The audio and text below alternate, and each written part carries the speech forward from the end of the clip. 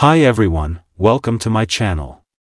In this video I will show you, how to fix if deactivate option not showing in your Facebook Messenger.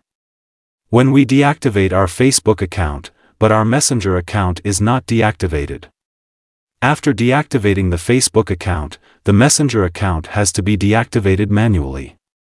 And many of us face the problem when we log into Messenger account to deactivate manually, doesn't show deactivate option.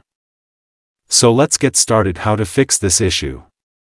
After logging into the account, go to Settings.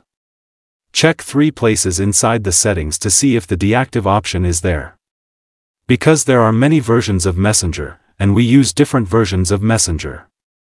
That's why we will check the three options to see if the deactivate option is there. If there is no deactivate option among these three options, then we will clear the storage of app. For that press and on the app. And go to App Info. Or you can come to this interface by entering Setting.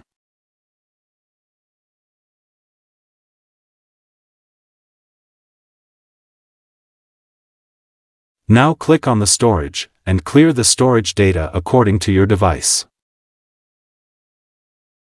After that again log in into the account.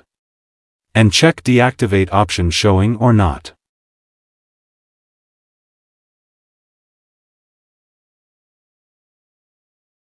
If the deactivate option doesn't showing, then simply uninstall the app and again install it.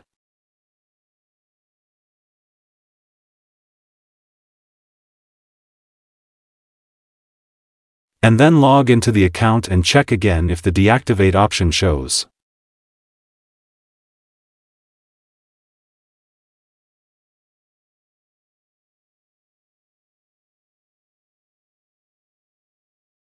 If deactivate not showing, then take a screenshot from this interface, and then go to report and technical problem.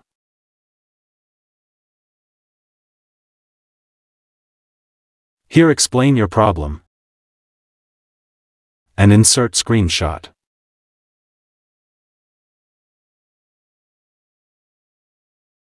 After that send your report, and wait few hours. Facebook team check your report manually and fix this issue. After a few hours you will see deactivate option display. If you think this video is helpful for you, please like that video and also subscribe my channel. Thank you for watching.